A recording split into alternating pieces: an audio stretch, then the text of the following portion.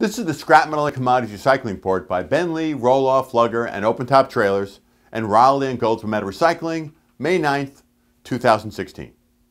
In this report, last week commodity prices had their ups and downs, with steel up and copper down.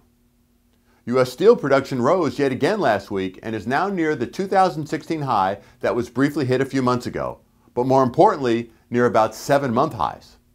This is due to the U.S. economy doing okay, not great, and tariffs on finished goods steel remain kicking in. Therefore, U.S. steel mills are replacing imports that are dropping off. The oil rig count remains going in one direction, down. The count hit a new six year low and is now down about 80% from 18 months ago, but oil prices remain up about 70% from the low of a few months ago. If oil prices rise further, we may see more U.S. drilling activity, leading to more steel being used in these rigs. U.S. ferrous scrap prices, as forecast, were up last week 25 to $40 a gross ton, depending upon the region and the grade of material. This makes two months of major increases, and we're at levels not seen in about nine months. Hot rolled coil finished steel fin continued its rise up as well and are at levels not seen in over a year as multiple steel mills announced price increases last week. This will clearly put stress on manufacturers that buy finished steel on the open market.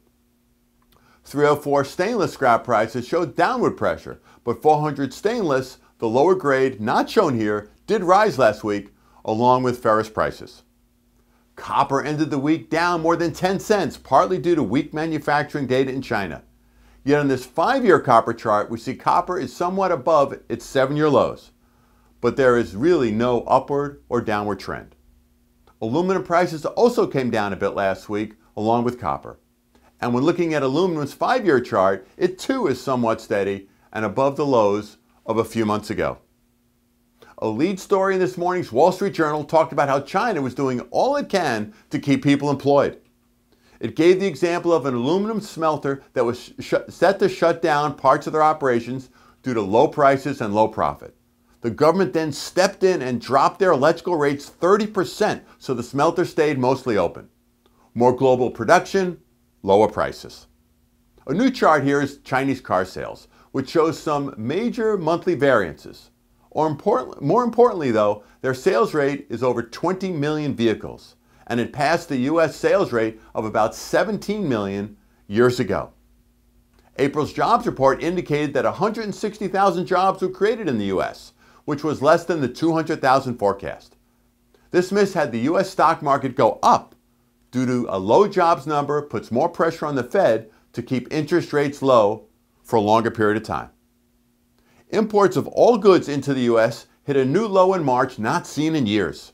This was due to many factors, including the lower cost of energy, but less steel imports, which is actually helping U.S. steel mills. This chart is the U.S. Tra trade of balance. For decades, we have had a negative trade of balance with the world. In March, it was the best it's been about 14 months and remains better than the 2006 high when oil prices and huge oil imports put a drag on the U.S. economy. Australia's economy is built heavily on the mining of raw materials, especially iron ore. With prices and volumes down, their economy is having problems, so last week they dropped their interest rates to record lows. U.S. car sales popped up in April from a low in March. April sales were 3.6% ahead of last year and are on path to have the second consecutive record sales in U.S. history at over 17 million units. Really great news. With that, we hope all have a safe and profitable week. My name is Greg Brown.